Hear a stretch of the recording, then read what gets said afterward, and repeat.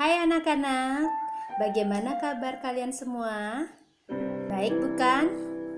Hari ini Ibu akan mendongeng dengan judul Kapten Amar Bisa Terbang. Tapi sebelum Ibu butuh bercerita atau mendongeng, perkenalkan dulu. Nama lengkap Ibu adalah Putu Juli Astiti cukup dipanggil dengan Ibu. Ibu Putu bekerja di TK Lab Undiksa Singaraja. Adapun tokoh dalam cerita ini yaitu seekor semut yang diberi nama Kapten Amar dan seekor kupu-kupu yang diberi nama Kupu-Kupi.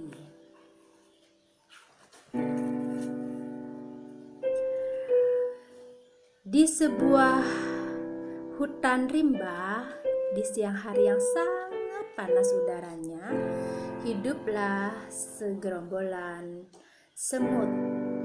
Mereka berjalan dengan pelan, seperti ada yang mereka pikirkan. Apakah gerangan yang dipikirkan?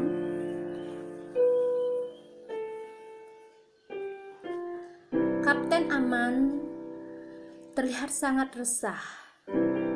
Dia pun berkata kepada teman-temannya, "Kita harus cari cara agar kita mudah mencari makanan dengan cepat." Bagaimana caranya, Kapten? Kita kan sudah sering bergotong royong. Kita harus bisa terbang seperti kupu-kupu. Terbang kita kan tidak punya sayap. Ah, aku takut. Aku takut jatuh, Kapten.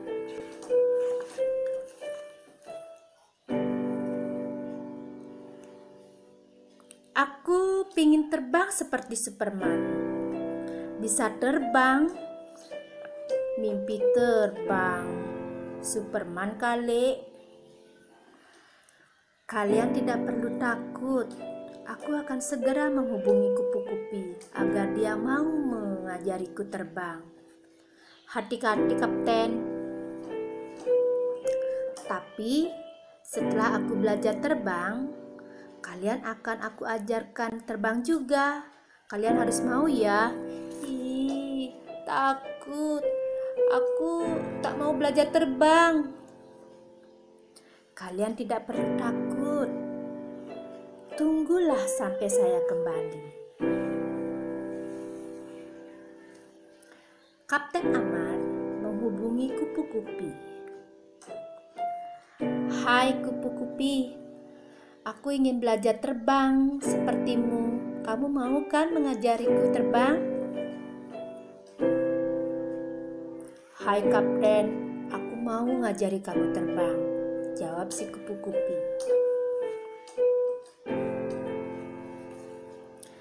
Hai Kap, bagaimana kabarmu?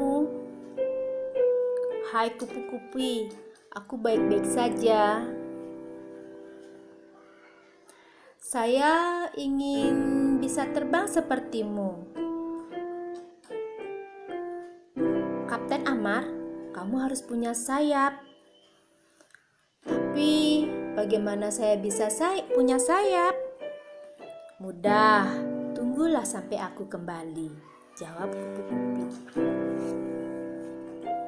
Kupu-kupi pun segera datang sambil membawa daun. Hai Kap, aku sudah datang. Terbang pakai daun? Ya, inilah sayapmu.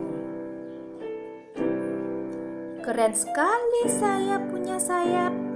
Yap, Sebentar lagi kamu pasti bisa terbang, Kap.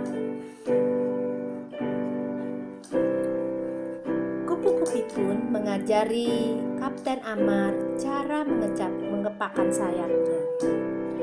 Wow, saya bisa terbang. Yap, kamu bisa terbang, Kap.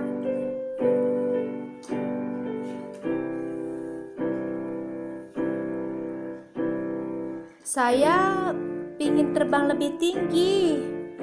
Wow, keren sekali pemandangan di dari atas.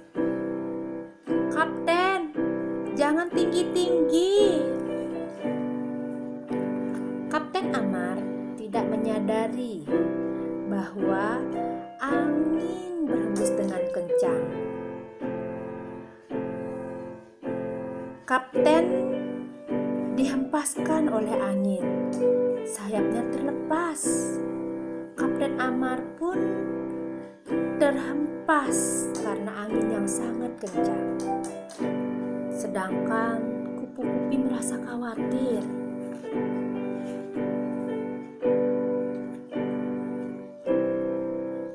Kedebuak. Maaf, maaf Kapten Amar. Gara-gara aku, kamu jadi jatuh. Tapi saya kan sudah menasehati kamu, Kapten Amar. Jangan terlalu tinggi-tinggi terbang. Kapten Amar terjatuh ke tanah. Untung sekali tidak cedera. Kapten Amar akhirnya pulang. Kapten Amar disambut oleh teman-temannya. "Hai Kap, kamu sudah pulang?" "Itu kenapa, Kapten Amar?" "Hai, kalian semua aman-aman kan?" "Aman, Kapten. Kami baik-baik semua."